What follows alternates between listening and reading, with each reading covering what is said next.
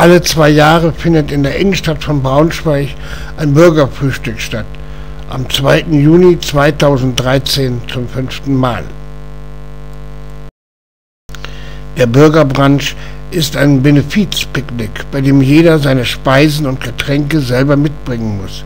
Die Tische müssen gemietet werden. Der Erlös kommt der Stiftung zugute. Es wurden 1200 Tische aufgestellt und vermietet.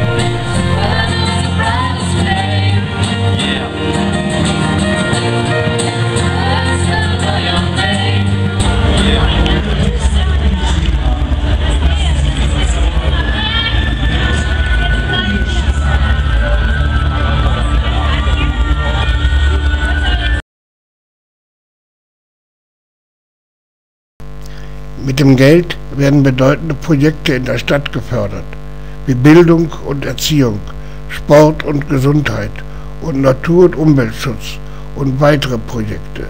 Die Bürgerstiftung ist gemeinnützig und unabhängig.